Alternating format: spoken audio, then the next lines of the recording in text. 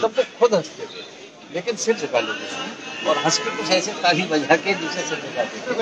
या नहीं बनाते हुए, एक सामूहिक भोग बनाते हुए उन्होंने जन जीवन में जो काम किया प्राणपण से अंदर से।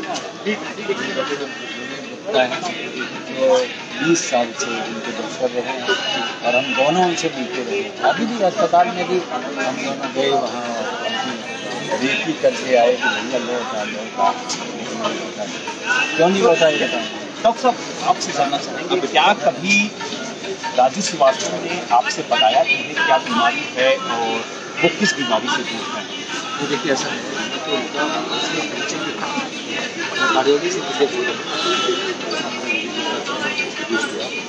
बारह साल से पंद्रह साल से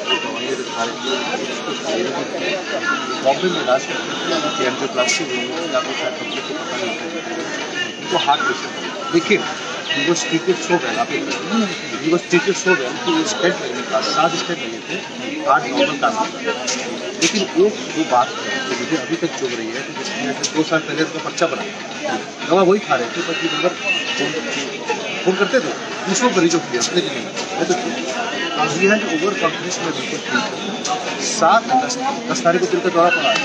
हमारे घर पे खाना सरता गया हमारे सत्यनारायण कथा थी। उन्होंने कहा, मैं दिल्ली में किसी पर्पज से और पूरा दिनेश जी, उनको देख लीजिएगा, इनको देख लीजिएगा, मेरे भाई को देख लीजिएगा। इस तरह से। हमने कहा, दिल्ली में है? दिल्ली में मेरे घर में खाना खाने आया, सात लोग सात, आठ लोग आए जस्ट थ्री डेज़ तो मैं कहना चाहूँगा कि वो शायद लास्ट उनकी पब्लिक परफॉर्मेंस रही होगी जो कि है पास वीडियो भी है। गाने उन्होंने गाए जो जोक किया वो एक जोक दो जोक सुनाऊँ सर जो हमारे घर पे की आखिरी जोक होगा उनका। हमारे घर में आए बोले अभी जी कहाँ है? यानी कॉलेज उनको बुलाओ। यानी आपको वो बात बता दें उनकी स्टाइल थी उन्हीं स्टाइल उन्होंने क्या बताइए भाई बताओ। अच्छा एक तो मैंने इनसे पूछा, कि आप एनेस्थीसिया क्यों देते उनका जो ये इसी स्टाइल मैंने इनसे पूछा, बाकी भाभी से कि एनेस्थीसिया क्यों देते भैया, एनेस्थीसिया ना दें पेशेंट और पेशेंट कितना सीख ये कॉमेडी इनने कला थी उस समय के हिसाब से। मुझसे बोले, मैंने इनसे पूछा डॉक्टर गुप्ता से कि आला शाह क्या देखते हो आप? बोले हम देखते हैं कि जेब में क्या देखते हो बहुत नोट है वो तो हार्ड चीज़ लेकिन अगर मुझसे उस दिन पूछ लेते मैंने उससे पूछा सब ठीक चल रहा है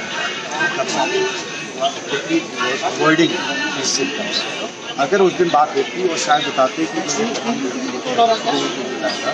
तो मैं कहता जिम तो बंद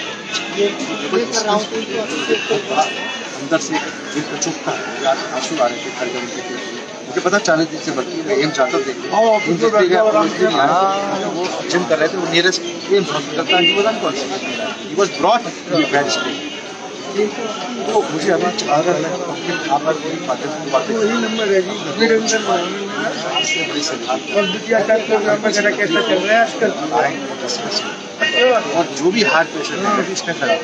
अपने मरीजों से भी कहूँगा। ना सोचे कि अपने साथ एक्सेसिव एक्सरसाइज अगर ये उसे दिन जिम ना उनके करीबी दोस्त हैं साउथ जिम मत जाओ। अंदर की बात बता रहा हूँ। अरे अभी दस तक जाते तो उनके उसके भाई उनके भाई का ऑपरेशन था एम्स में। ब्रेन का दो बजे ऑपरेशन हुआ। ऑपरेशन सुबह हो गया होता तो शायद जिम में जाते आज कहते होने को टाल नहीं सकता, उस दिन भी जिम गए तो जिम में तीन दिन पहले अपने कार्डियोलॉजिस्ट के घर में खाना खा रहे हैं। Never discussed about this. Whatever small problem? We had some problem.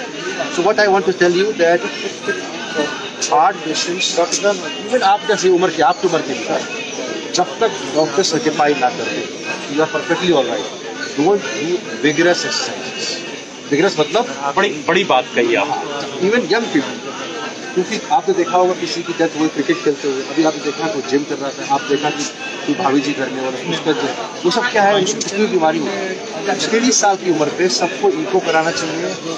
हाइपोट्रोफिक cardiomyopathy जो बीमारी होती है छुपी बीमारी होती है पता नहीं लगता। या इको और टीएमटी अगर क्लियर कर दे टीएमटी मतलब डॉक्टरी सलाह है तो भी आप जिम करें कर लेता बहुत बहुत धन्यवाद आपका कि आपने उन बारीकियों को हमें बताया और हमारे